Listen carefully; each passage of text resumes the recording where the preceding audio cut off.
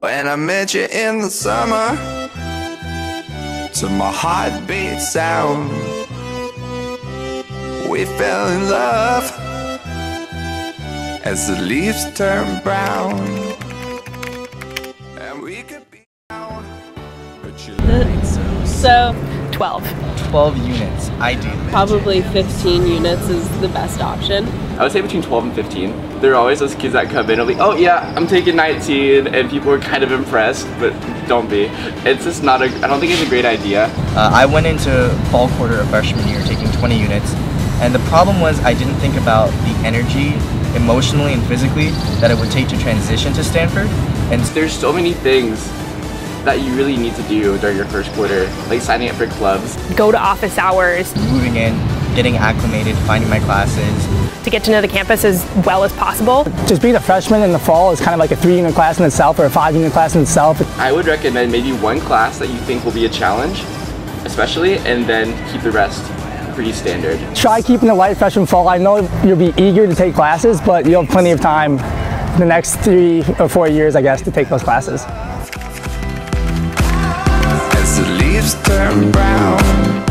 My biggest regret was probably not joining all of the things that I thought were interesting and that I had a desire to join. Sign up for all of the email lists. Just do it. Don't show any restraint. I think my biggest regret was probably like staying too much with what I was comfortable with.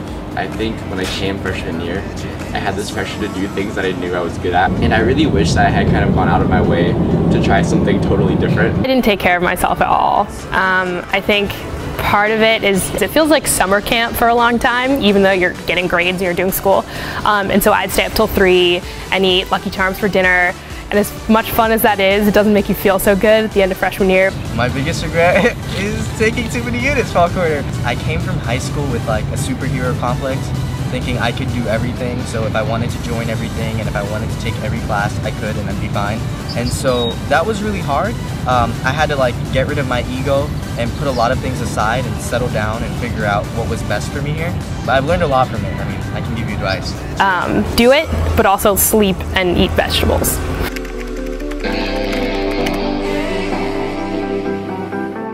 That's a tough question because there's so many great classes that you could take at Stanford. So I think a must-take class is one that you define, and then there are a bunch of popular classes that everyone will tell you are cool. I think Psych 1 Psych 1, Psych 1, which is an introduction to psychology. There's CS 106A, CS 106A. which is introduction to computer programming. And uh, maybe one of those study group classes where everyone in your dorm is taking it. It's a whole lot of fun. They're really great professors that are super involved in their research. I think a must-take class is a class that really resonates with what you're interested in. I think that probably came through IntroSems, where it allows you some flexibility to do something that maybe not is not in your major and maybe you aren't super comfortable with yet. So for me, a must-take class was this one global health class that really helped us look at social entrepreneurship models. I'd also take things like sand volleyball or rock climbing. If I had to choose one, I took one this last spring called Engineering 103, which was a public speaking class. I think social dance was phenomenal and everyone should really try and take it. It was a blast, not near as awkward as I thought it might be. These kinds of resources you won't really have another time, so I think it's important to build in those one unit sort of for break fun classes.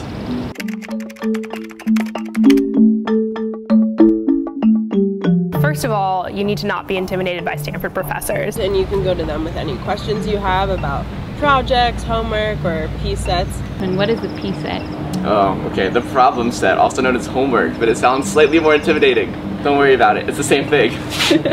I think one classic way to do it is show up with a question. Just in general, if you're not comfortable going into office hours, send your professor an email, get to know them. You could go so far as to like look at one of their papers that they publish and maybe just read part of the abstract. You don't have to like know their stuff all the way, but just enough to show that you are interested in what they're doing. And I think they would love that and definitely be willing to talk. It can be really intimidating to get to know the professors here at campus. I know for myself, I've had professors who are like the leading fellows in, the, in their field. So one of them, John Taylor, was President Bush's chief economic advisor. And I remember having him for my Econ 1 class, my freshman fall, and being so intimidated and being like, who am I to go up and say hi to him after class or go to his office hours. And I actually, I did go to one of his office hours and I remember sitting down with him and he sat me down for 20 minutes and we didn't talk about econ at all. We just talked about his life, we talked about my life, what I want to do at Stanford, and integrate it into your schedule because the office hours give you a chance to really connect with the professor, especially for bigger classes, they'll know your face. and otherwise they sit in their office hours and they're there by themselves. So just go in and talk to them. They're normal people too. Uh, so treat office hours as if they were just regular class time, and it would really make a difference. I dried my clothing by hanging it on every surface in my room because I didn't have one of those drying racks. But I hung them like out of my window, I hung them on top of my closet, or I hung them and then hung them to the light on top in the middle of your room so they were just hanging off of my light. Definitely buy a drying rack.